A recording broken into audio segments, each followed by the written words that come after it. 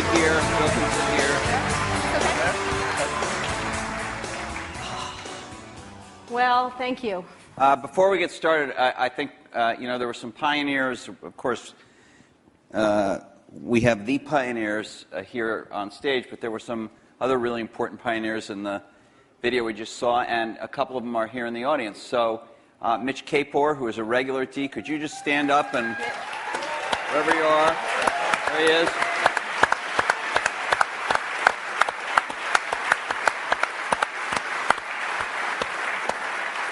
And, and Fred Gibbons, who has not come to D before but is here tonight. Fred. There's Fred. Right there.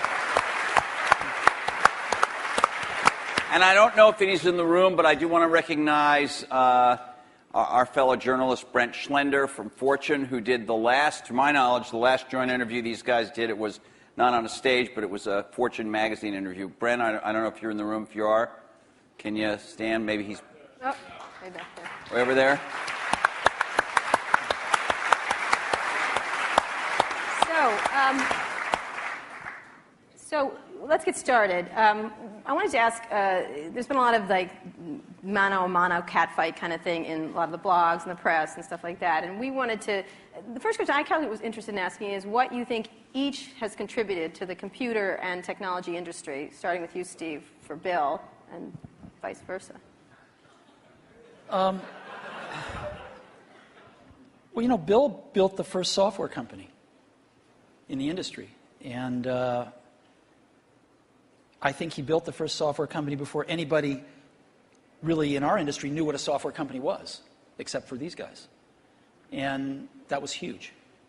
That was really huge. And the business model that they ended up pursuing turned out to be the one that worked really well, you know, for the industry. So I think, but the, the, the biggest thing was Bill was really focused on software before almost anybody else eh, had a clue that, that it was really the software. That's, important. that's what I see. I mean, I, a lot of other things you could say, but that's the high order bit. And I think building a company is really hard.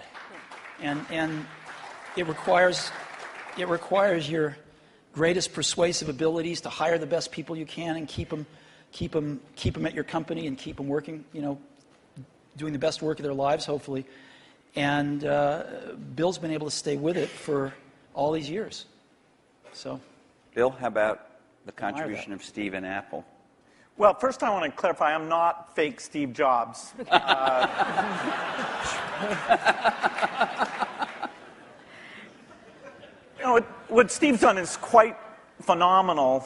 You know, if you look back to 1977, that Apple II computer, the idea that it would be a mass market machine, uh, you know, the bet that was made there by Apple uniquely, there were other people with products, but the idea that this could be an incredible, empowering phenomena, Apple pursued that dream.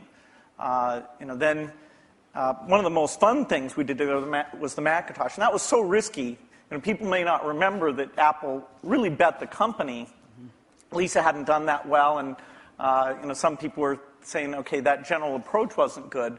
But the team that Steve built, even within the company, to pursue that, uh, even some days it felt a little ahead of its time. Uh, I don't remember that Twiggy disk drive. And, 128K. yeah.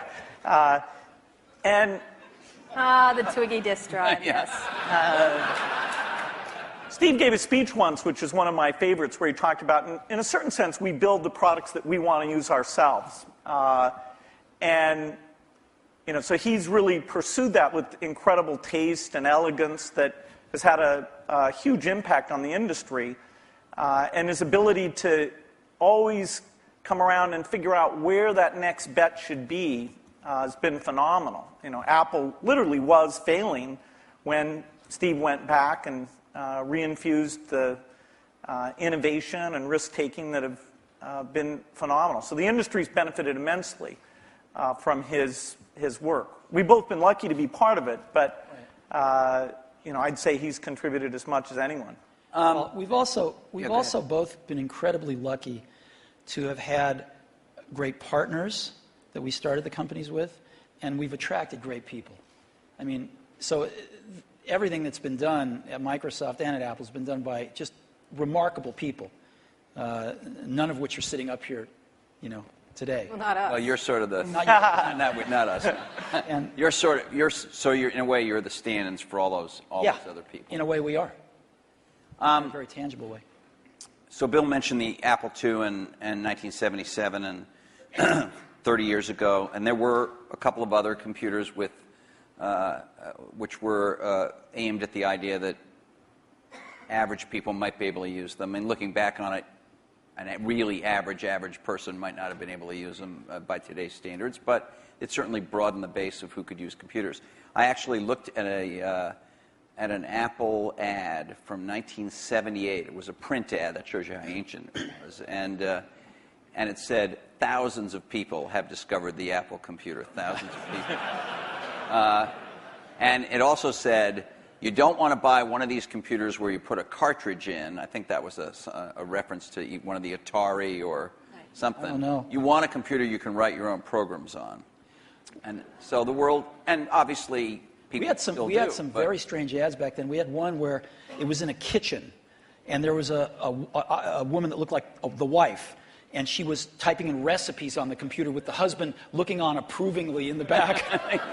Stuff like that. Yeah, How did that work for you? I, I don't think well. So, um, but, but just think back to, I, I- I know that you started Microsoft prior to 1977. You, s- I think Apple started the year before in 76. 76. Microsoft in 74 was when we 74, started writing 75. the basic. And then, yeah, then we did the ba- shipped the basic in 75. Okay. Um, most people, uh, I, some people here, but I don't think most people know that there was actually um some Microsoft software in that Apple II computer. Do you want to talk about what happened there, or how that, how that occurred? Yeah, the, uh, the, there'd been the Altair and a few other companies, actually about 24, that had done various machines. But the 77 group included the PET, uh, TRS-80, Commodore. and the Yeah. Commodore PET, uh, TRS-80, and the Apple II. The original Apple II Basic, the integer Basic, uh, we had nothing to do with. But then there was a floating point one uh, where, uh, and I mostly worked with Woz on that. Uh, I made. I Let me, made- let me tell this story. So Woz was uh, my partner. We started out with this guy named Steve Wozniak, brilliant, brilliant guy. He writes this basic that is like the best basic on the planet. It does stuff that no other basic's ever done. You don't have to run it to find your error messages. It finds them when you type it in and stuff. It's perfect in every way except for one thing, which is it's, it's just fixed point, right? It's not it's not floating point. And so we're getting a lot of input that people want this basic to be floating point. And like we're begging Woz, please, please make this floating point. Who's we? How many people are in Apple? Well, me. Yeah. we're begging Woz to make this floating point, and he, he just never does it. You know, and he wrote it by hand on paper. I mean, you know, he didn't, we, he didn't have an assembler or anything to write it with. It was all just written on paper, and he'd type it in. He just never got around to making a Why? floating point. Why? Well, this is one of the mysteries of life. I don't know. but he never did. And so, you know, Microsoft had this very popular, really good floating point basic that we ended up going to them and saying, help. And, and, and how much was the, I think you were telling us earlier? That was thirty-one thousand dollars That Apple paid you for for the floating point basic, and I flew out to Apple. I spent two days there getting the cassette. The cassette tapes were the main ways that people stored things at the time. Right. Uh, and you know that was fun. I think the most fun uh, is is later uh, when we worked together. well, on what was the most fun? Tell, tell the story about the most fun that was later. And maybe later, not the most fun. Let him, let him talk. then. teasing. I'm teasing. Well, you know, Steve can probably uh, start it better. The, the team that was assembled there to do the Macintosh was a very committed team. And there was an equivalent team on our side that just got totally focused on this activity. Jeff Harbers, a lot of uh, incredible people. And we really had bet our future um, because we, on the Macintosh being successful, and then hopefully graphics interface in general being successful. But first and foremost, the thing that would popularize that being the Macintosh. And so we were working together. The schedules were uncertain. The quality was uncertain. The price. When Steve first came up, it was going to be a lot cheaper computer uh, than it ended up being, but that was fine. Uh, So you worked in both places, in both. Well, we, we were in Seattle, and we Right. fly down there. But Microsoft, if I remember correctly uh, from what I read, uh, uh, wasn't Microsoft one of the few companies that were allowed to even have a prototype of the yeah. Mac at the time? Well, what's interesting, what, what, what's hard to remember now, is that Microsoft wasn't in the applications business then. The Ma- they took a big bet on the Mac because they, this is how they got into the apps business. I mean, Lotus dominated the apps business on the PC back then. Right. We had done just Multiplan, Yeah. which was a hit on the Apple II. And then Mitch did an incredible job betting on the IBM PC. And 123 came in and, you know, ruled that, that part of the business. So the question was, what was the next paradigm shift Right. that would allow for an entry? WordPerfect, we had Word, but WordPerfect was by far the strongest in word processing, DBase, and database. and Word was a, uh, that was a kind of a DOS, a text. All of, the, all of these products I'm saying were DOS-based Right. products. Because Windows wasn't in the picture at the time. Right. That's more in the early 90s that, that we get to that. And so we made this bet that the paradigm shift would be uh, graphics interface, and in particular that the Macintosh would make that happen with 128K of memory, 22K of which was for the screen buffer, uh, 14K was for the operating system. So it was, uh, 14K. Yeah, 14K. yeah. The original Mac operating system was 14K. 14K that Uh, we had to have loaded when our software ran. So when the shell would come up, it had all the 128K. The OS was, the OS was bigger than 14K. It was in the 20s somewhere. I see. So when we ship these, no, we ship these computers now with, you know, a gigabyte, two gigabytes of memory. And, and nobody remembers. 128K. I remember that. I remember. I remember paying a lot of money for computers with 128k in those days. So um, the two companies worked closely on the on the Mac project because you were maybe not the only, but the principal or one of the principal software creators for it, right? Is that right? Well, Apple did the Mac itself, but we got, we got Bill and his team involved to write these applications. And we were doing a few apps ourselves. We did Mac Paint and Mac Draw and stuff like that. But uh, Bill and his team did some great work. Now, in terms of going, moving forward, when after you left and your company grew more and more strong, how did you? What did you think was going to happen to Apple after sort of the disasters that occurred after Steve left? Well, Apple's fate hung in the balance. Uh, we continued to do Macintosh software, and uh, you know Excel, which Steve and I introduced together in New York City. Uh, uh, that was kind of a, a fun event. That went on and did very well. Um, but then, you know, Apple just wasn't differentiating itself well enough from uh, the higher volume platform, and Meaning Windows, right? I mean, DOS and Windows. yeah, okay, but especially Windows in the 90s began to take off. By 1995, Windows became popular. The big debate wasn't sort of Mac versus Windows. The big debate was character mode interface versus graphics mode interface. And when the 386 came and we got more memory and the speed was adequate and some development tools came along, that paradigm bet on GUI paid off for everybody who'd gotten in early and said, you know, this is the way that's going to go. Uh, and But so we- Apple wasn't able to leverage its. they weren't you, they, they after the 512k Mac was done, the product line just didn't evolve uh, as fast. Uh, Steve wasn't there uh, uh, as it needed to, and we were actually negotiating a deal to invest and, and make some commitments and things with Gil Amelio. Uh, and no, seriously. And Don't we be were. mean. Don't be mean to him.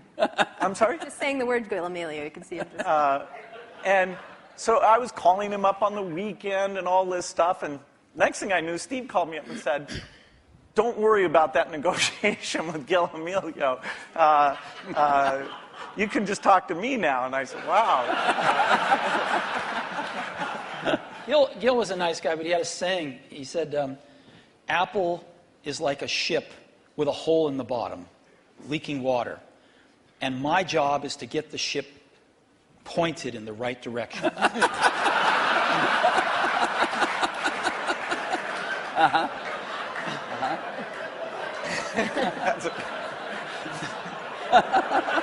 Okay. So, and meanwhile, uh, through all this, uh, I, I mean, I want to get back to the thing we saw in 1997 uh, at Macworld there, but uh, uh, Windows was just going great guns. I mean, uh, uh, Windows 95, uh, to whatever extent earlier versions of Windows had not had all the features, all the GUI stuff that the Mac had, Windows 95 really was an enormous, enormous leap. Yeah, Windows 95 is when graphics interface became mainstream and when the software industry realized, wow, this is the way applications are going to be done. It, and it was amazing that it was ridiculed sort of in 93, 94. It was not mainstream. And then in 95, the debate was over. Uh, it was kind of just a common sense thing. And it was a combination of hardware and software uh, maturity getting to a, a, point that people could see it. Um, so I don't want to go through every detail, the whole history of how you came back, but Thank you. You had, but you in that video we all saw, you said you had decided to that it was destructive to have this competition with Microsoft. Now, obviously, Apple was in a lot of trouble, and I presume that there was some uh, tactical or strategic reason for that, as well as just wanting to be a nice guy, right? I mean, you know, Apple was in, in very serious trouble, and um, what was really clear was that if the game was a zero sum game where for Apple to win, Microsoft had to lose, then Apple was going to lose. But that's a lot of people's heads were still in that place. Why was that from your perspective? Well, a lot of people's heads were in that place at Apple mm-hmm. uh, and, and even in the customer base because you know Apple had invented a lot of this stuff and Microsoft was being successful and Apple wasn't and there was jealousy and this and that. There was just a lot of reasons for it that don't matter. But the net result of it was was there were too many people at Apple and in the Apple ecosystem playing the game of for Apple to win, Microsoft has to lose. And it was clear that you didn't have to play that game because Apple wasn't going to beat Microsoft. Apple didn't have to beat Microsoft. Apple had to remember who Apple was because it had forgotten who Apple was. And uh, so uh, to me, it was pretty essential to break that paradigm. And it was, it was also important that you know, Microsoft was, was the biggest software developer outside of Apple developing for the Mac. And, and so, you know, that was, it was just crazy what was happening at that time. And Apple was very weak. And uh, so I called Bill up and we tried to patch things up. And since that time, we've had a team that's fairly dedicated to doing the Mac applications. And they've always been treated kind of in a unique way so that they can have a pretty special relationship with Apple. And that's worked out very well. In fact, every couple years or so, there's been something new that we've been able to do on the Mac. And we have a great, it's a great business for us. And, uh, and it's actually the relationship between the Mac development team at, at, Microsoft and Apple is a great relationship. It's one of our best developer relationships. And do you so, look at yourself as rivals now today as, as the landscape has evolved? And we'll talk about the internet landscape and everything else and other companies that have come forward. But how do you look at yourselves in this landscape today? Because you, I mean, you, you are competitors uh, in certain ways, which is the American way, we right? watch the commercials. And, and, you get annoyed at each other from Although time you know to what? time. I have to confess, I like PC Guy better. Yeah, he's great. I like him. The you know, the, guy, the art of those, the, the art of those yes, commercials sir. is not to be mean, but it's actually for the guys to like each other.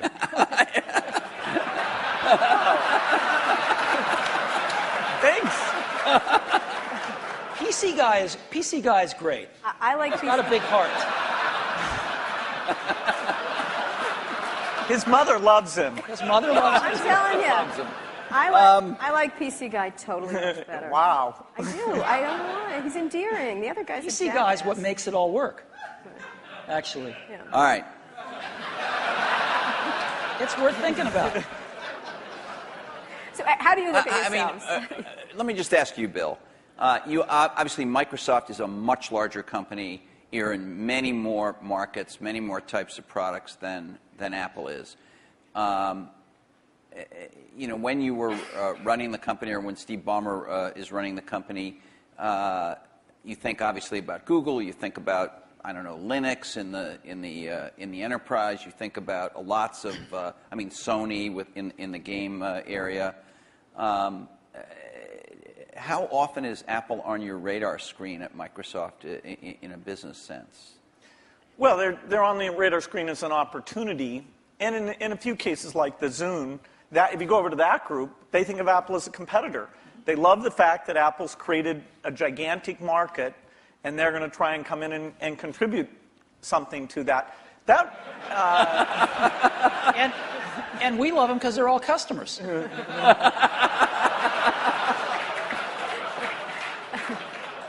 I, I have to tell you, I was actually told by J Allard, I'm serious, that uh, because of the nature of the processor, the development platform they used to develop a lot of the software for the Xbox 360 was Macs. And he claimed that at one point they had like placed the biggest order for whatever the Mac Tower was at the time of anybody, and it was Microsoft. I don't know if it was the biggest, but yeah, we had a the same processor essentially that the Mac had. This is one of those great ironies. Is, uh, they were switching away from that processor while the Xbox 360 was adopting it, but for good reasons actually in both cases, because uh, we're not in a portable application, and that was one of the things that that processor roadmap didn't have. But yes, we did. It shows pragmatism, but uh, we, we try and, uh, and do things that way. Uh, so that was the development system for the early people getting their software ready for the introduction of, of Xbox 360. And we never ran an ad on that. I see. Admirable restraint. That's you- wonderful. There were hundreds of them. Steve is so known for his restraint.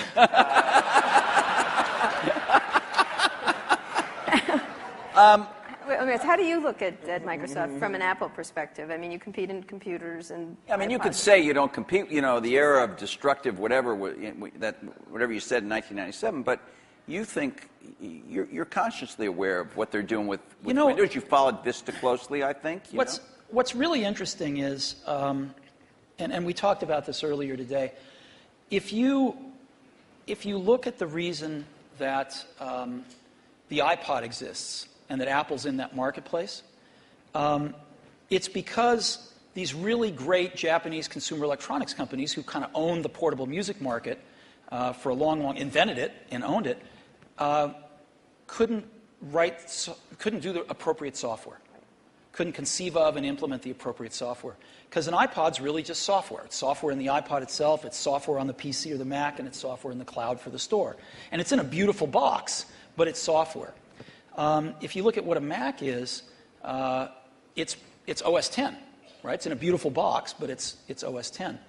And if you look at what an iPhone will hopefully be, it's software. And so the, the, the big secret about Apple, of course, not so big secret maybe, is that Apple views itself as a software company. And there aren't very many software companies left. And Microsoft is a software company. And so, you know, we, we look at what they do and, and, and we think some of it's really great. And we think some of it's, a little bit of it's competitive and most of it's not. You know, we, we don't have a belief that the Mac is going to take over 80% of the PC market. You know, we, we're really happy when our market share goes up a point. Uh, and we love that and we work real hard at it. But Apple's fundamentally a software company, and there's not a lot of us left, and Microsoft's one. But you, you may be fundamentally a software company, but you've been known, at least to your customers and to most journalists, as the company that kind of pays a lot of attention to integrating software and hardware. You know, Alan Kay- Microsoft has made some recent moves to be a little more like that. Obviously, not in your core biggest businesses, but with Xbox and Zune and you know the Surface Computing uh, device we saw today is another example. These aren't markets that hold up in size to Windows or Office, but they're some of your more recent initiatives. Are are the companies' approaches to this Alan Kay had a urging great, a little, or Alan Kay had a great quote back in the 70s, I think. He said, uh, "People that love software want to do their own hardware." You know, well, Bill loves software. No, I can resist that. the, uh, the question is are there markets where the innovation and variety you get is a net positive? The negative is that in the early stage, you really want to do the two together. So you want to do prototyping and things like that. Uh, you know, really is one thing. And then take the phone market. Uh, we think we're on 140 different kinds of hardware. We think it's beneficial to us that even if we did a few ourselves, it wouldn't give us what we have through those partnerships. Likewise, if you take the robotics market, very undeveloped. We have over 140 all tiny volume robots using Microsoft software and the creativity building toys, security things, medical things. We love the innovation and the ecosystem that's going to grow up, who knows when, but we're patient around that, and we'll have a, a great asset with this robotic software platform. So there are things like PC, phone, and robot where I, the Microsoft choice uh, is to go for the variety. It's Apple's. It's great. They're you know for them they do what works super well for them. And there's a few markets like Xbox 360, Zune, and this year we have two new ones: the Surface thing and this Round Table, which is the meeting room thing, where we'll actually through subcontractors, but it's our the P&L on the risk and all that for the hardware. The design is, is completely a Microsoft thing. The, the, the round table, is that something you've announced or were you just. Uh, we've announcing it? shown prototypes of it. It's, that's the thing where it's got the 360 degree Oh, right. cameras and all those. It's like Cisco has something in that market and HP too, right? Or, Well, HP has a very high end thing uh, that's a tiny bit like it. But anyway, uh, all right. You know, Do you ever regret? Was, there something you might have wanted to do differently? And maybe this all, you feel like this happened after you left Apple. Uh, uh, something you might have done differently that where, where you could have had a much bigger market share for the Mac? Well, before I answer that, let me make a comment on Bill's answer there, which is it's very interesting in the consumer market um, and the enterprise market, they're, they're very different spaces. And in the consumer market, at least, I think one can make a pretty strong case that outside of Windows, uh, on PCs, it's hard to see other examples of, of, of the software and hardware being decoupled working super well yet. It might in the phone space over time, it might, um, but it's not clear. It's not clear. Uh, you can see a lot more examples of the hardware software coupling working well. And so I think this is, this is uh, one of the reasons we all you know, come to work every day is because nobody knows the answer to some of these questions. And we'll find out over the coming years. Maybe both will work fine. Yeah, and I maybe they won't. Yeah, it's good, and it's good to try both approaches. In some product categories, take music players, this, the solo design worked better. In the PC market, uh, the, the variety of designs uh, at this stage has a higher share. It has a higher share? Yeah, it has a lot higher share. Well, it's not that much different in music players the other way around. Um, is there some moment you feel like I should have done this or Apple should have done that and we could have had? Oh, You Uh, stuck if not, to this idea of these hardware-software integration, and it's working very well now. There- There's a lot of things that happened uh, that I'm sure I could have done better when I was at Apple the first time. And a lot of things that happened after I left that I thought were wrong turns, but it doesn't matter. It really doesn't matter, and you kind of got to let go of that stuff. And, uh, you know, we are where we are. So we tend to look forward. And, you know, one of the things I did when I got back to Apple 10 years ago was I, I, I gave the museum to Stanford and all the papers and all the old machines and kind of cleared out the cobwebs and said, let's stop looking backwards here. It's all about what happens tomorrow. And because you can't, you can't look back and say, well, gosh, you know, I wish I hadn't gotten fired. I wish I was there. I wish this. I wish that. It doesn't matter.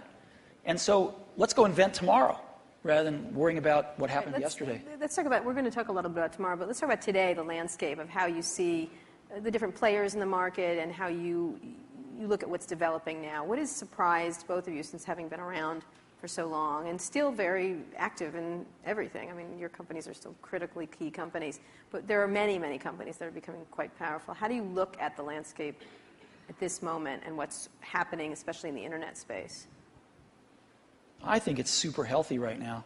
I think there's a lot of, a lot of uh, young people out there building some great companies who want to build companies, who aren't just interested in starting something and selling it to one of the big guys, but who want to build companies.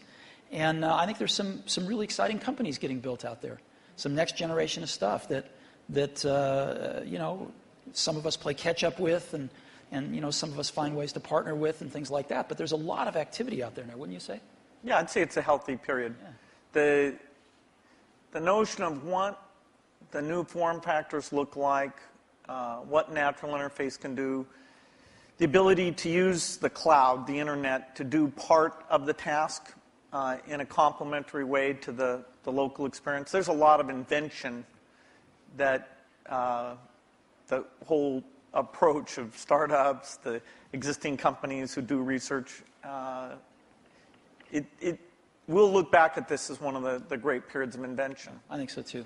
There's a lot of things that, that, that, are, that are risky right now, which is always a good sign, you know, and you can see through them. You can see to the other side and go, yes, this could be huge, but there's a period of risk that, you know, nobody's ever done it before. Give an example that would, for example, I, I do, but I can't say. Okay. And so, but, but I can say, when you feel like that, that's a great thing. Right. That's what keeps you coming to work in the morning, and, it's an, ex- and it tells you there's something gr- exciting around the next corner. Okay, but so the two of you have uh, certainly uh, you're, you're involved every day with the internet. You have internet products. Uh, you have a whole slew of stuff on the internet.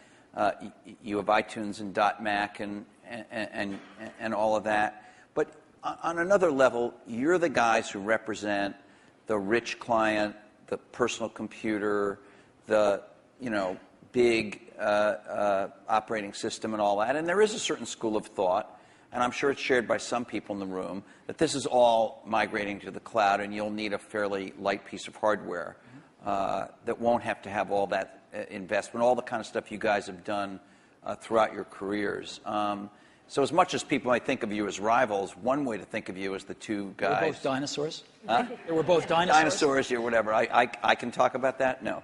Um, seriously, um, is You're there, in five system that is years, in five years, is the personal computer is still going to be the linchpin of all this stuff? Well, you can say that it'll be predicted that it won't be. Uh, you know, the network computer uh, took us over about, what, five years ago, we disappeared. Uh, remember the single function computer? There was somebody who said that the, these general purpose things are kind Mary of a dumb idea. Uh, so this, that took us over. The mainstream is always under attack. The thing that people don't realize is that you're going to have rich local functionality. I mean, at least our bet as you get things like speech and vision, as you get more natural form factors, it's a question of using that local richness together with uh, the richness that's, that's elsewhere. And as you look at the device, say, that's connecting to the TV set or connecting in the car, there are lighter weight hardware uh, internet connections. But when you come to the full screen, rich, you know, edit the document, create things, uh, you know, I think we're nowhere near where we can be on making that stronger. I'll give you a concrete example. Um, I love Google Maps, use it on my computer, you know, in a browser. Uh, but when we were doing the iPhone, we thought, wouldn't it be great to have maps on the iPhone? And so uh, we called up Google, and uh, they had some, they'd done a few client apps in Java on some phones, and they Yeah. had a, an API that we worked with them a little on. And uh, we ended up writing a client app for those APIs. They would provide the back end service. And the app we were able to write, since we're pretty reasonable at writing apps, uh, blows away any Google Maps client. Just blows it away. Same set of data coming off the server, but the experience you have using it is unbelievable. It's way better than the computer. And, uh, and, and just in a completely different league than what they'd put on phones before. And, you know, that client is, is the result of a lot of technology on the client, that client application. So when we show it to them, they're, they're just blown away by how good it is. And you can't do that stuff in a browser.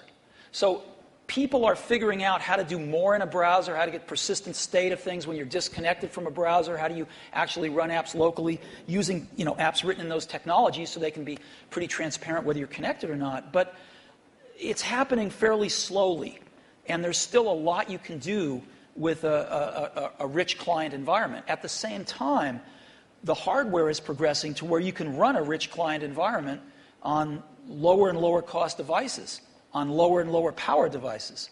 And so uh, there's some pretty cool things you can do with clients. So, are you, oh, okay, so you're saying rich clients still matter, but maybe I misunderstood you, but I, your example was about a rich client that is not a personal computer as we have thought of a personal What I'm trying to say is, it's, I think the marriage of some really great client apps with some really great cloud services is incredibly powerful. And right now can be way more powerful than just having a browser on the client. You're talking about Yeah. a software company being a software and services company rather than a. I'm saying the marriage of these services plus a more sophisticated client is a very powerful marriage. Bill, you were Yeah, architecturally, the, que- the question is do you run just in the cloud and all you have down locally is the browser? And it, that is the same question for the phone as it is for the full screen device. There'll always be different screen sizes because these are, you know, the, eight, the, the five inch screen does not really compete with the 20 inch screen does not compete with the big living room screen. Those are uh, things that there'll be some type of computing behind all of those things, all connected to the internet. But the idea that locally you have the responsiveness of immediate interaction without the latency or bandwidth limitations that you get if you try and do it all, uh, all behind, uh, you know, What is that- that- that's what leads to the, the right balance. What does that device look like in five years? What would you be your principal device? Is there one or? Is it, a, is it a, I think you use, I could be wrong, I think you carry a tablet. Right. PC, Right. Which has not necessarily stormed the world yet. Yeah, this is like Windows 1992, uh, I think. Uh, that is, I'm unrepentant un, uh, on uh, my belief. In, Okay. uh, But to go back to Kara's point, what would you each imagine that you would carry as your principal, let's say, thing to do? I mean, the Jeff web Hawkins and showed a very lightweight Email and all that that kind of stuff. that Yeah, attached you, his s- I don't know if you guys saw, but Jeff Hawkins showed a Linux-based, a very small, uh, kind of, he call, I think he called it a Oh, companion to a smartphone today. A phone companion. It sounded a little naughty, frankly. It, it doesn't matter, you weren't there, but um, what would you think you got each would be? I assume you carry uh, you, you carry a tablet PC. I don't know what brand it is. Maybe you change them up. I, I don't know. You obviously carry a MacBook Pro, I would guess, or a MacBook Yeah, well, and an iPhone. and an iPhone. You have one I do. right here. Yes. Well, he has when he took it out before. Um, what? Uh, really? Sorry. flashed his iPhone earlier today. Anyway, go ahead. So, what is your device? What, do you, What, what, you uh, device what's your device in five carrying? years that you rely on the most? I don't think you'll have one device. I think you'll have a full screen device that you can carry around, and you'll do dramatically more reading Light. off of that. Uh, yeah, I mean, I believe in the tablet form factor. I think you'll have voice, I think you'll have ink, you'll have some way of having a hardware keyboard and some settings for that. And then you'll have the device that fits in your pocket, which the whole notion of how much function, how much function should you combine in there. You know, there's navigation computers, there's media, there's phone.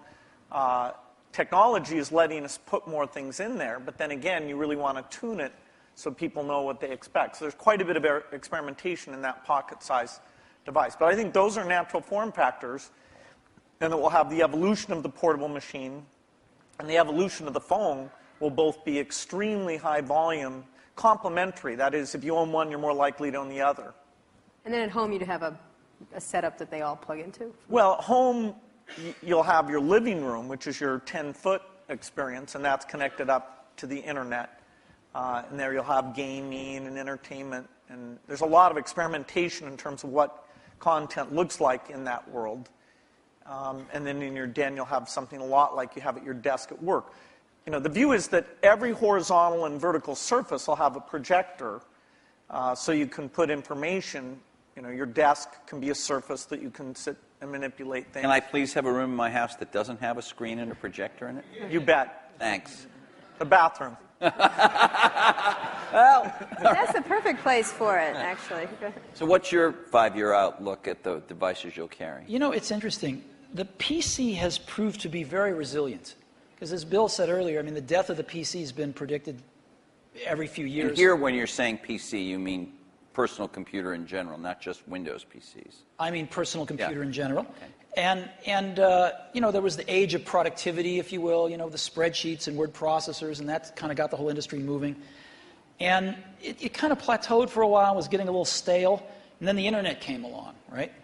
And uh, everybody needed more powerful computers to get on the internet. Browsers came along, and it was this whole internet age that came along, access to the internet. And, and then some number of years ago, you could start to see that the PC, that was taken for granted, things had kind of plateaued a little bit, and innovation wise at least. And then I, I think this whole notion of the PC, we called it the digital hub, but you can call it anything you want, sort of the multimedia center of the house, started to take off with digital cameras and digital camcorders and sharing things over the internet and kind of needing a repository for all that stuff. And it was reborn again as sort of the hub of your digital life.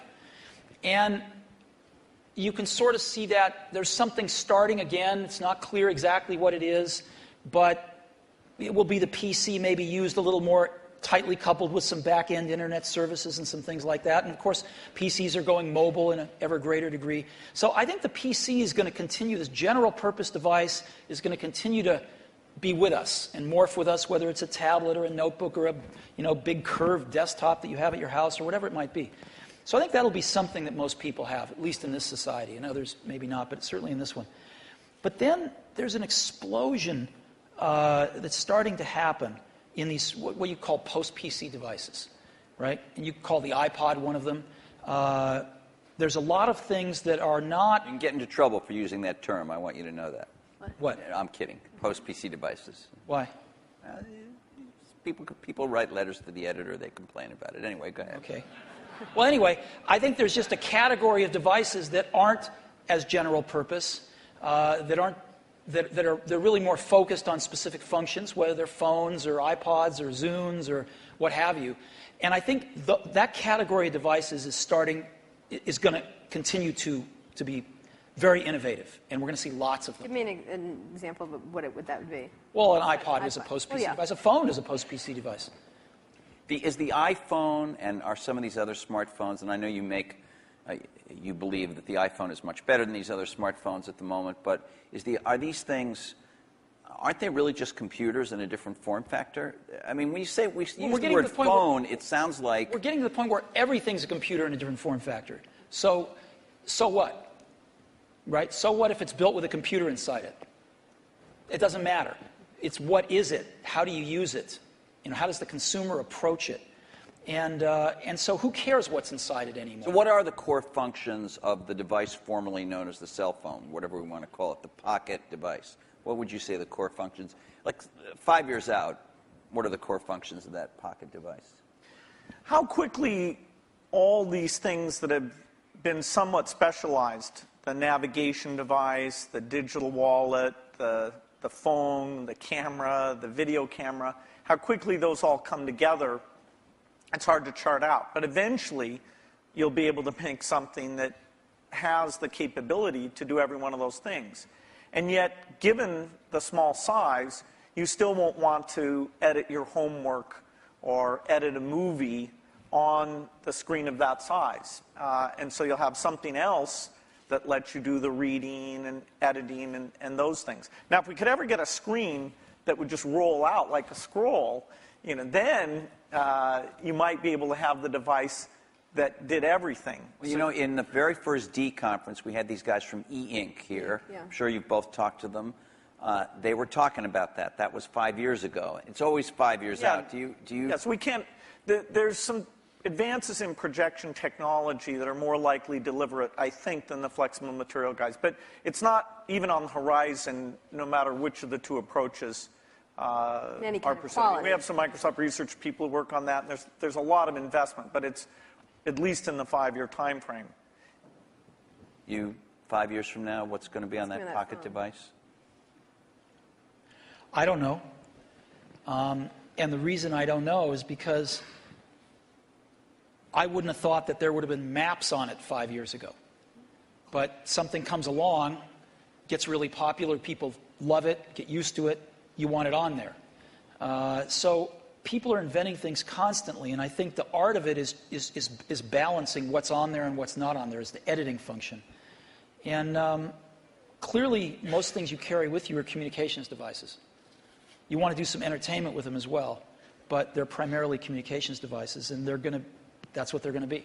Outside of the computing area, what are the exciting areas in the internet space at all that you're looking at that you find that that's interesting to each of your companies and in general for, for you? Any kind of social networking, any kind of the wikis, those kind of things, things we've talked about in the past couple of, I mean, today, essentially. Hmm. You know, we're working on some things that I can't talk about. but- Again. again, yeah. But there used to very be, beautiful, There I used to be a saying, isn't it, at It's Gonna blow us away, though, Blow us when away. you can't. Wow, it's There great. used to be a saying at Apple, isn't it funny a ship that leaks from the top? so, uh, the, uh, That's kind of like a sweater without sleeves is a vest. I don't get that. that was what they used to say about me when I was in my 20s.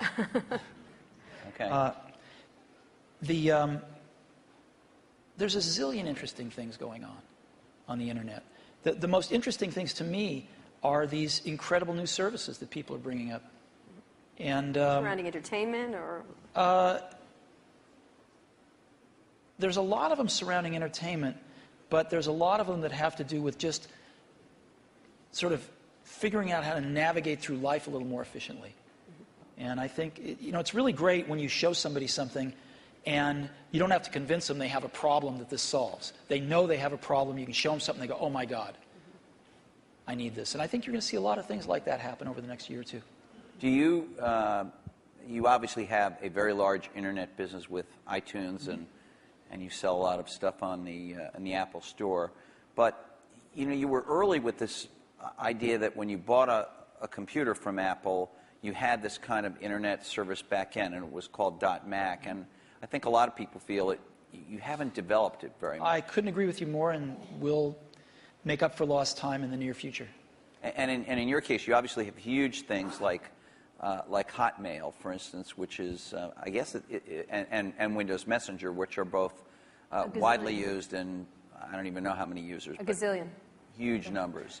But on the other hand, you haven't, uh, as, as Steve Ballmer was talking about today, you know, you have other people have much stronger positions in things like search and uh, uh, uh, uh other parts of the uh, of the internet. So, eh, i are you guys because you are uh, the personal computer companies that, are best you know best associated with that, not as nimble as some of these competitors at this point?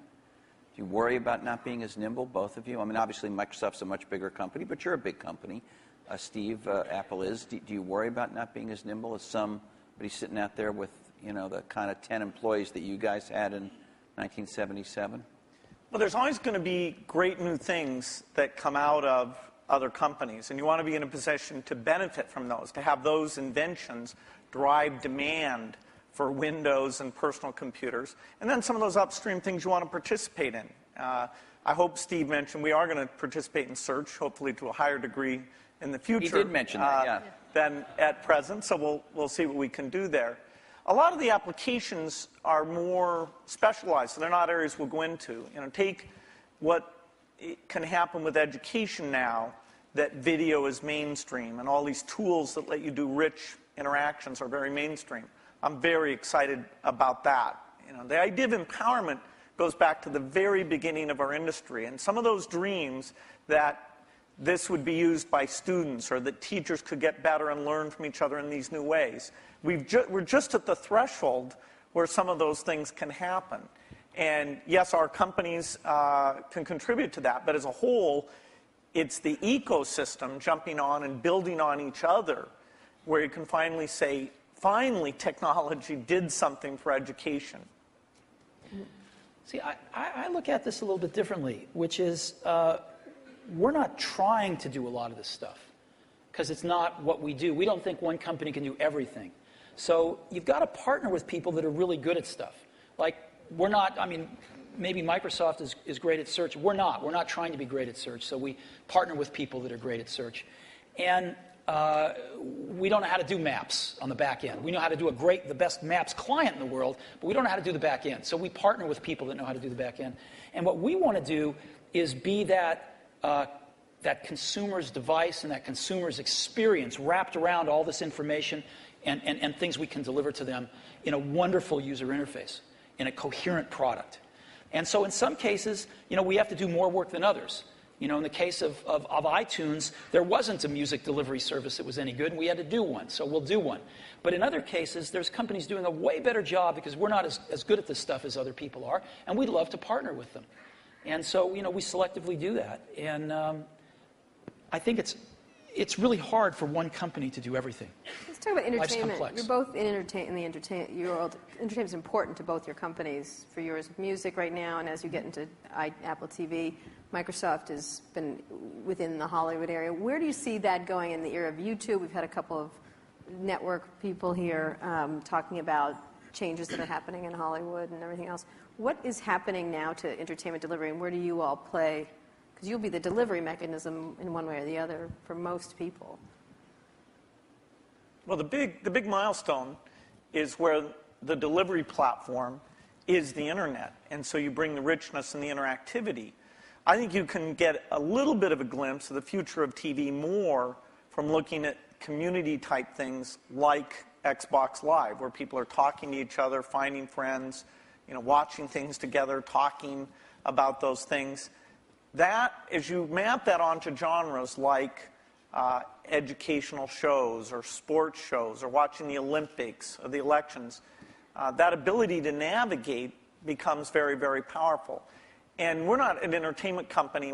Yes, we do Halo, which is this big video game, but by and large, we're a platform. And so it's the, it's the tough software things, whether it's the speech or the ink or the deep graphics, that's where things that take 10 years to get done, the IPTV stuff, the foundation there, you know, it took 10 years to get it done. Now it's finally uh, coming to fruition, and we have people like uh, AT&T betting uh, their company on uh, putting that together. So we're just at the start of having a, a scale uh, entertainment delivery vehicle uh, through, both through PCs, unfortunately not connected up to the TV set in most cases, but uh, that's a point of innovation. And now things uh, like IPTV and, and, Xbox that are connected up in the living room. Steve, you were today. Uh, uh, Bill, you weren't here, but Steve showed a, a new function of Apple TV that brings YouTube directly to the TV. Uh, is there going to be more of that from you? Do you, do you see yourself, as, the way Bill says, as an enabler of entertainment, or well, I mean, putting aside your Disney role, but your Apple? I mean, I think I think people want to enjoy their entertainment when they want it and how they want it, on the device that they want it on. So ultimately, uh, that's going to drive the entertainment companies into all sorts of different business models. And that's a good thing. I mean, if you're a content company, that's a great thing. More people wanting to you know, enjoy your content more often in more different ways, that's, that's why you're in business. But the transitions are hard sometimes.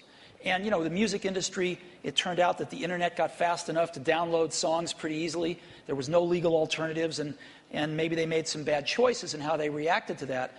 But, you know, they're still trying to make the transition to a, a, a very different way of doing business or ways of doing business while they're under attack from piracy. And we can all highlight some of the mistakes that have been made, but, you know, still, it's a tough job.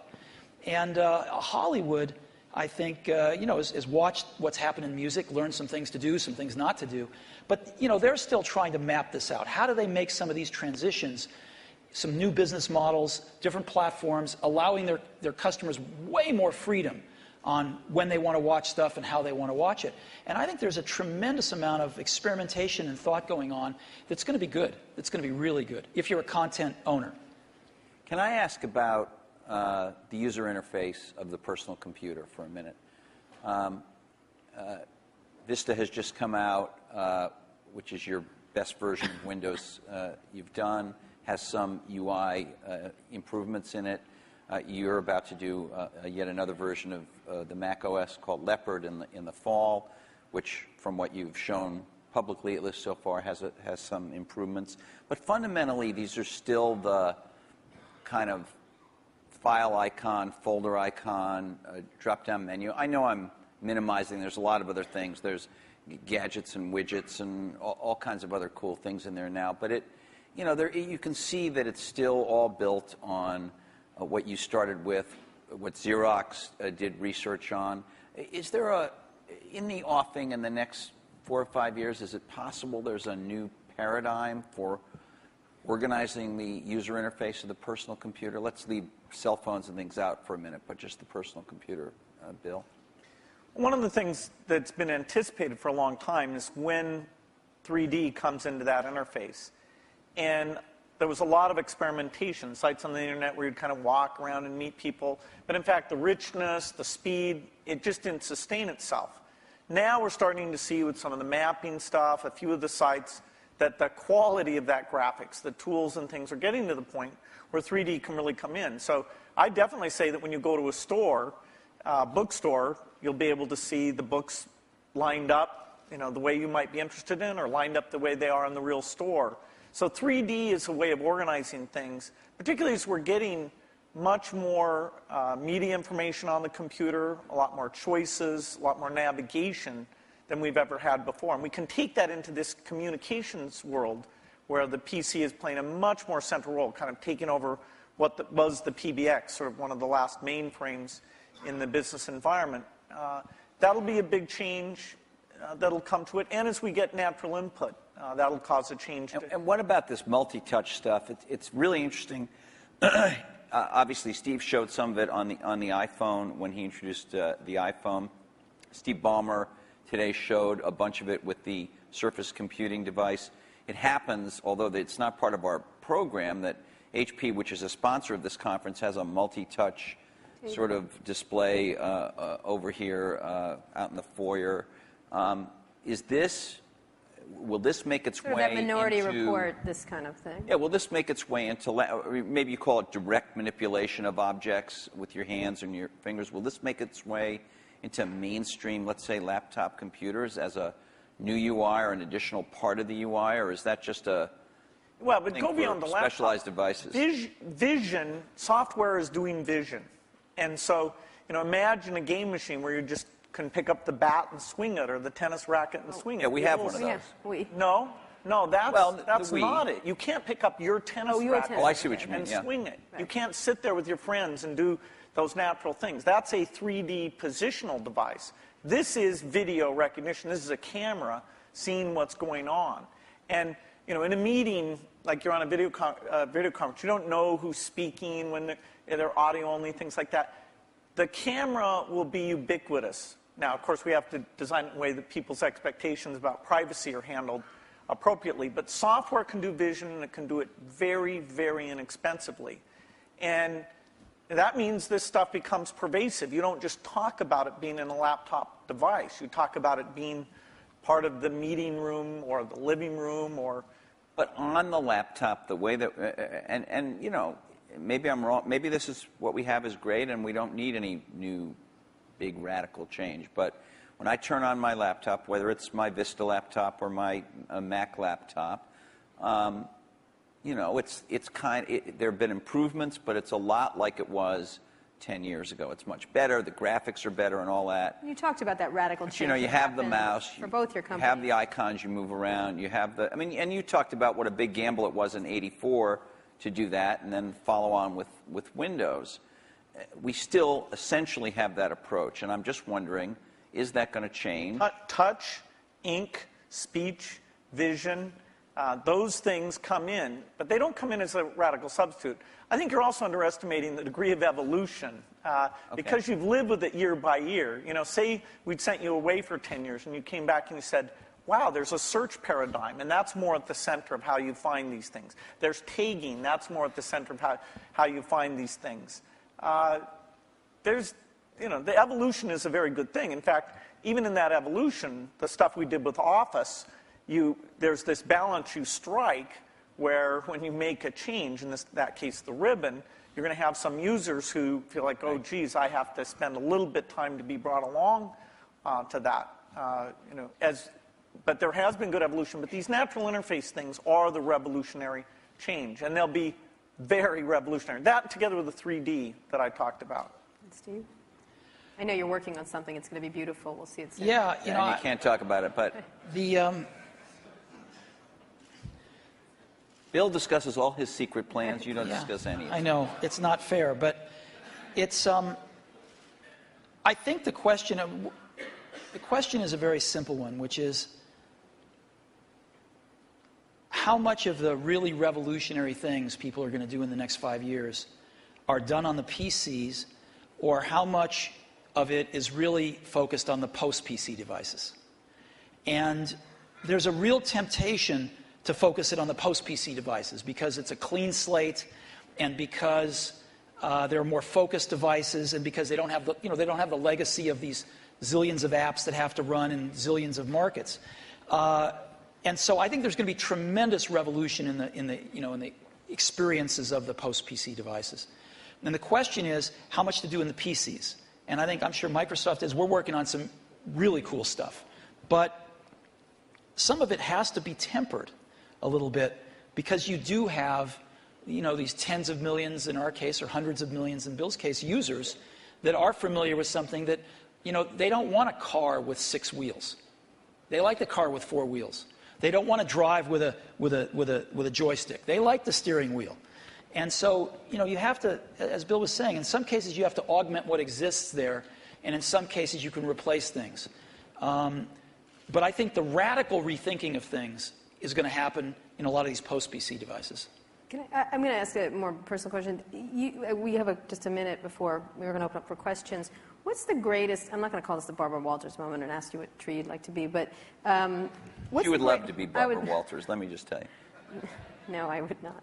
Um, what's the greatest misunderstanding? Ding. right. But thank you, Steve.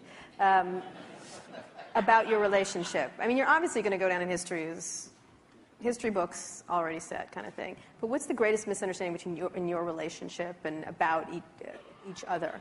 What would you say would be this idea of catfight? This idea of what, what which one of the many? We've kept our marriage secret for over a decade now. Canada. That trip to Canada. Mhm.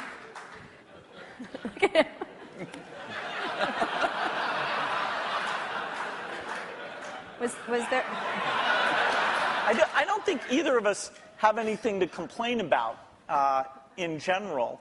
And I know that the, the projects, like the Mac project, you know, was just an incredible thing, a fun thing uh, where we were taking a risk. Uh, we did look a lot younger in that video. We did. Uh, You look 12 in the first one. that's how I try and look. It was 12. But no, it's been fun to work together. Uh, and I actually kind of miss some of the people aren't around anymore. You know, people come and go in this industry. It's nice when somebody sticks around and uh, you know have some context of all the things that have worked and not worked. And the industry gets all work, all crazy about some new thing. You know, like you know, the, the, there's always this paradigm of the company that's successful is going to go away and stuff like that. It's nice to have people seen the waves and waves of that, and yet been willing, when it, when it counted, to take the risk to bring in something new. Has it been important? One last question, and then we'll, uh, we'll go to the Well, I audience. he didn't, got an he didn't answer for answer that, us because he I'm just sorry, said this. I have an Oh. answer. He only Oh, talked sorry. about his secret gay Okay, marriage. yeah. So. I thought that was your answer. No, that, that wasn't my answer. You know, when Bill and I first met each other and worked together in the early days, uh, generally we were both the youngest guys in the room, right? Individually or together. I'm about six months older than he is, but roughly the same age. And now, when we're working at our respective companies, I don't know about you, but I'm the oldest guy in the room most of the time. And um, that's why I love being here. And, and so, Ha- Happy to oblige. Happy to oblige. and uh, you know, I think of I think of most things in life as either a Bob Dylan or a Beatles song. But there's that, that one line in that one Beatles song, uh, uh, "You and I have memories longer than the road that stretches out ahead," and that's that's clearly true here. Well, you know what? I think we should end it there. Let's just end it there. I'm gonna have a little tear right here. Thank you. Thank you very much. Thank you so much. Thank you. Thank you. There's some. We're gonna ask you questions. Sit down standing O. Thanks. Have we ever had a standing O here? No. I don't know. The toilet. No.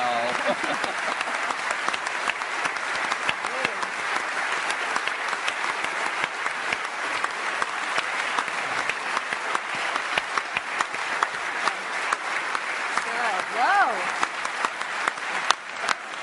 You handled this pretty well. Very good. Great. Wow. Okay, so uh, some audience questions. please. Questions? Can we have the lights? Roger Roger- McNamee Roger. from Elevation Partners. Hey guys, that was that was incredible. Thank you very much.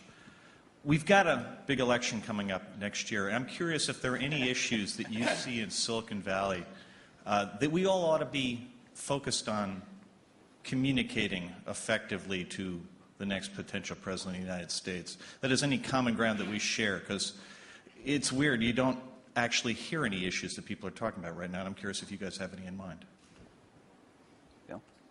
Well, certainly education is one that uh, I'd put at the top of the list. Uh, you know, is the, Are there technological solutions right now that they could do something about, or is that just sort of like the no, the, the, pro, the technology is going to be helpful and more and more, but the way that teachers are measured and, and made excellent, uh, the way that the high schools are designed, the expectations they have, it's, it's not just a pure technology thing. It's more an institutional uh, practice uh, where the opportunity is. And you know, there should be a lot of debate about the different ways of, of doing that. Steve? Boy, we've got some pretty big problems, and uh, I think most of them are much bigger than anything Silicon Valley can contribute right now to solve. So hopefully some of those will get solved. I also think we underestimate how much all of our industry depends on stability. Uh, we've enjoyed a you know, long period of stability, and we've, we've been able to focus on, on technology and growing our businesses and stuff, and, and, and I think we take that for granted sometimes. One of the more interesting areas that we all suffer from, of course, is, is, is in the area of energy dependence. And there's a lot of work going on.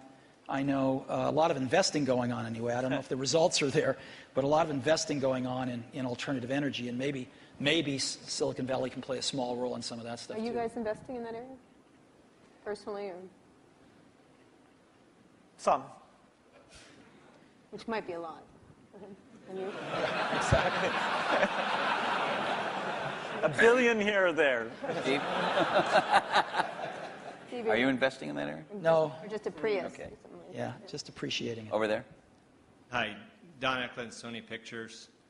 Um, my question is really, at what point is there too much diversity? Uh, it, it was talked about a few times in the discussion, the fact that now uh, microprocessors are very low cost, memory's low cost, software is, is ubiquitous. But uh, you know, my life has been uh, made better by standards like uh, coding standards, uh, network standards, and it seems like we're reaching a, a point where uh, diversity is starting to, to take hold to a point where we're not going to be able to have the kinds of convergence devices that I think everyone would really be able to appreciate. And uh, I'm wondering, you know, is this going to be like like healthcare or mass transit, where you just can never put it back in the bottle again? And uh, I'd like to get your perspective on that. If there's still an opportunity to have some grand convergence devices that uh, can really simplify people's lives and, uh, and, and enrich their lives. Steve? Well, I think Bill and I would agree that we can get it down to two. no, I think there's a. It's hard to it's hard to limit imagination and innovation. I think there's always going to be a bunch of new great things, but and I think that's part of what we put up with to get the innovation. We put up with a little bit of aggravation to get the innovation. And I think the marketplace is awfully good at allowing diversity when it should and then getting rid of it when it shouldn't. I mean, And then letting it come back sometimes. yeah. well, not, yeah. Jed? I mean, in terms of standards and, and things. You know, you, there's a, the internet standards have been incredibly powerful. You know, video formats, things like this. Uh, and so I, I don't see things that are going to really hold back a convergence device. uh, you know, sure, there's a lot of wireless approaches, but that's pretty healthy right now. They each have various merits. A few of them will end up overlapping the other ones and kill the other ones out. But well, I think the industry's done very well at uh, latching on to standards for the things that there were no longer any innovation in, and then focusing on uh, the places where the, it wasn't clear which approach was, was best. Uh, Jesse? Hi, I'm Jesse Kornbluth, headbutler.com. Uh, because you're not the youngest guys in the room anymore, it's perhaps appropriate to ask you a question about legacy, each of you. Uh, Bill, even your harshest critic would have to admit that your philanthropy work is you know, planet shaking, incredible, and uh, could, could be, if you make it, a, second act so amazing that it would dwarf what you've actually done at Microsoft. Um,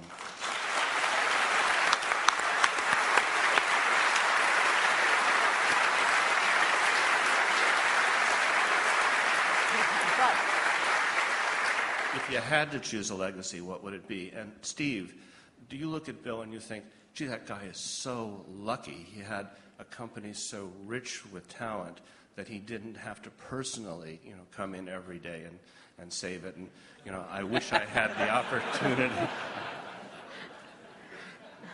Okay, he's not going to answer that one. Bill?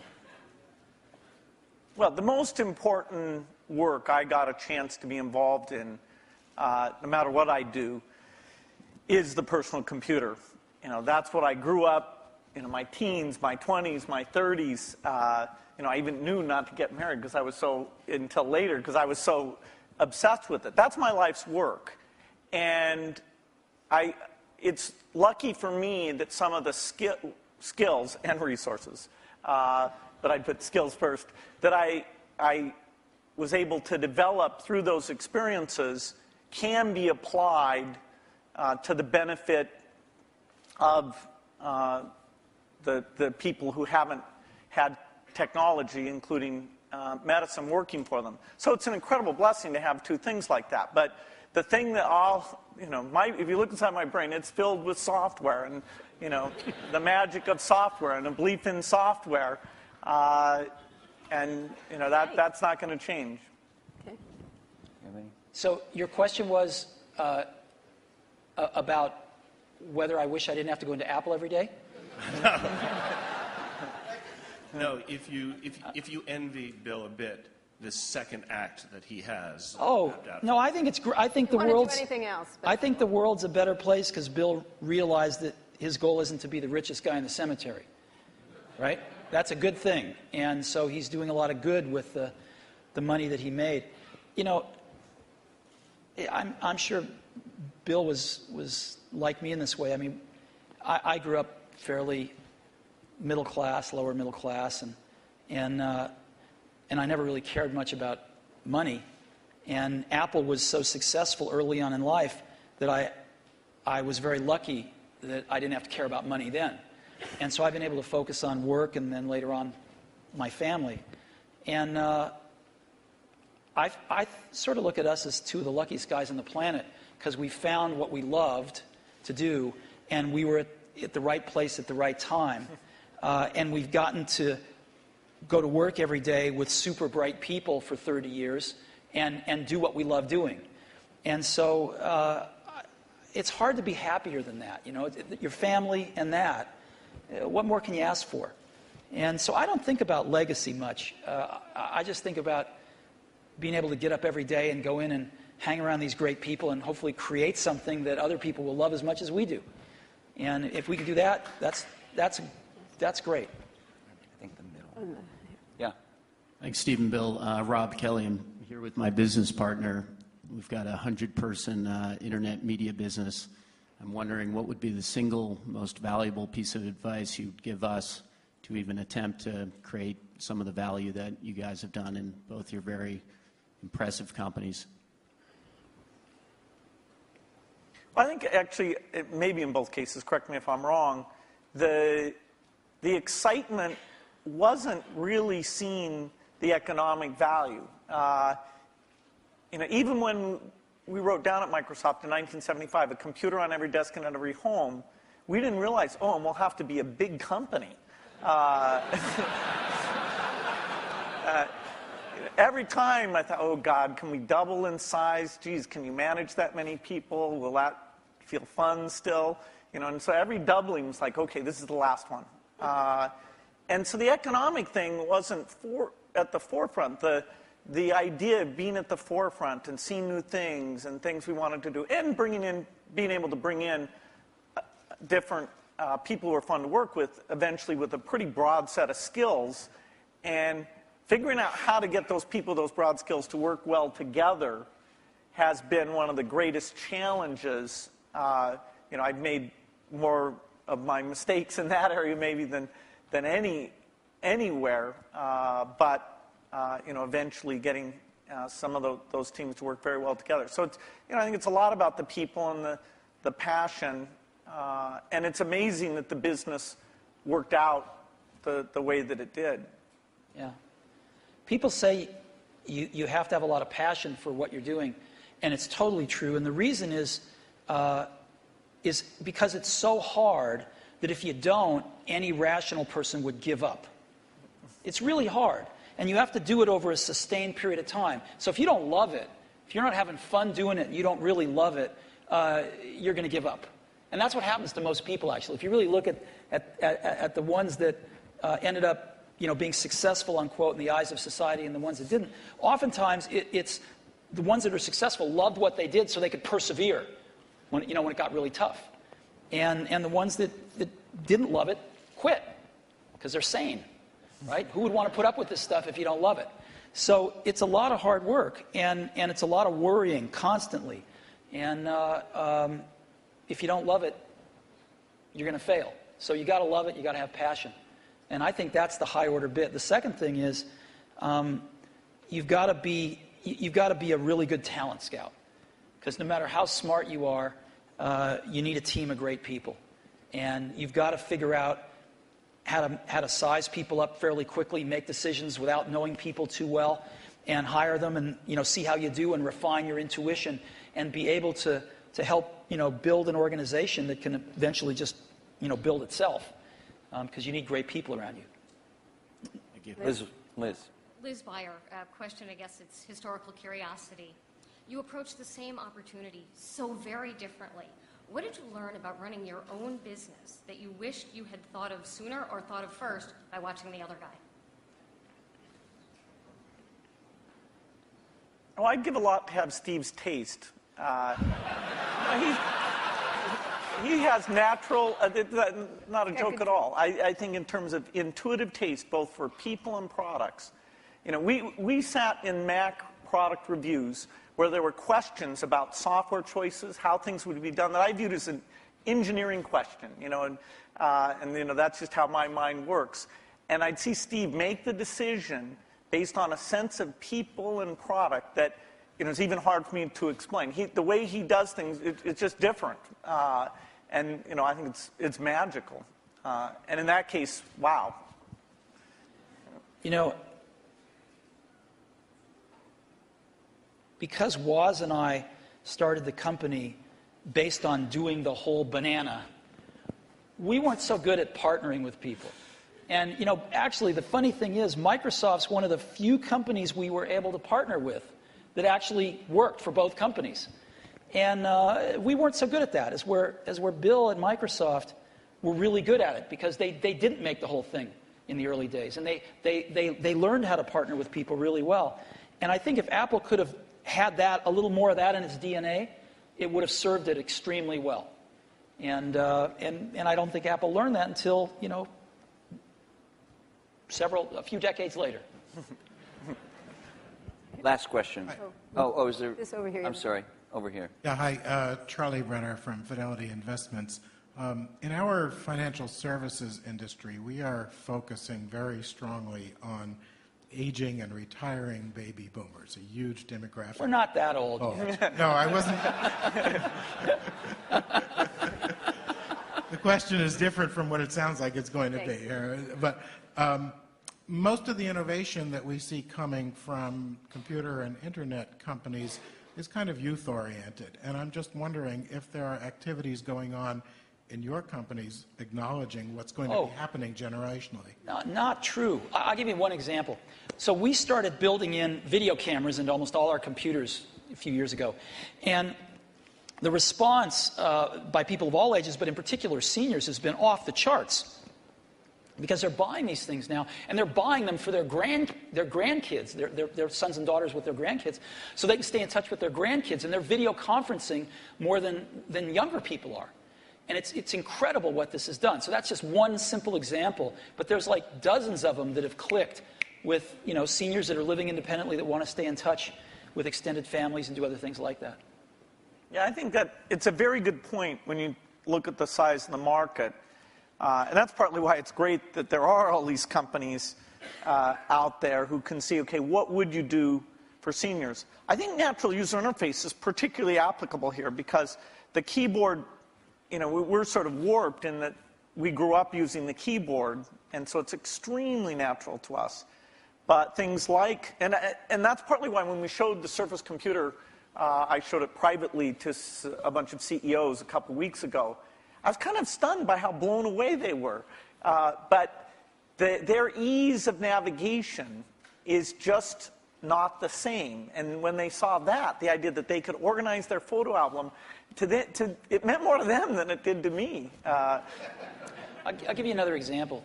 We've got uh, a little shy of 200 retail stores now.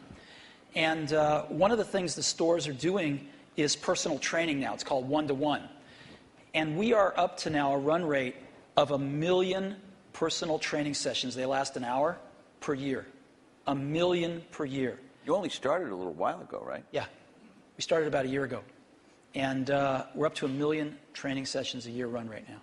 And a lot of those folks, you know, some of them anyway, many of them are seniors. And they're coming in and they're spending an hour learning how to use Office, and they're spending an hour learning how to video conference. And they can basically come in as much as they want, and they can schedule these things throughout a year, and they pay $99, I think, a year for it. And uh, it's been great. Last question. Now, the last question over there. We all share a common science fiction experience of you know, the metaverse or the matrix where we all could communicate without being in the same place. And by the way, thank you both for providing us the best platform so far to go to chat rooms or to all go to a MySpace. It's a far cry from these things that we see on Star Trek or the holodeck. What kinds of things can you imagine that are partway there that could be much better than the three window iChat that we might see in the next five or ten years? well, I, don't, I don't think Steve's going to announce his transporter. Uh, I want Star Trek. Just give me Star Trek. no, I think short of the transporter, most things you see in science fiction uh, are in the next decade the kinds of things you'll, you'll see. The, the virtual presence, the, the virtual world that both represents what's going on in the real world and represents whatever people are interested in. This you know, m- movement in space as a way of interacting with the machine. Uh, I think the deep investments that have been made at the research level will pay off with these things in, in the next 10 years. Steve? I don't know. And that's what makes it exciting to go into work every day. Because there's, as, as we talked about earlier, this is an extraordinarily uh, exciting time in the industry. And uh, lots of new stuff happening. So, it, you know, I can't even begin to think of what it's going to be like 10 years from now. Great. Thank you so much. No, thank, you, so much. Thank